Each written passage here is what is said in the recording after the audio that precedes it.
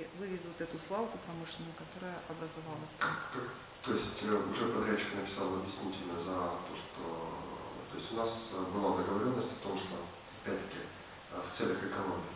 А у нас, мы сейчас, когда формируем новую парковочную зону, мы срезаем грунт. Грунт совсем неплохой. И этот грунт мы потом можем использовать на подсыпку в палисадники, э, там, где мы делаем новые дороги, забордируем подсыпать это место было выбрано как хранение грунта. Не мусора, а грунта. Ну, о том, чтобы там полежали кучи с грунтом плодородным, может, люди сами себе выбрали.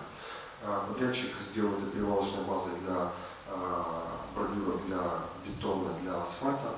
А, Как только э, будет продряхнуть чуть после дождя, наверное, будет завтра уже, сразу же будет это вынесено.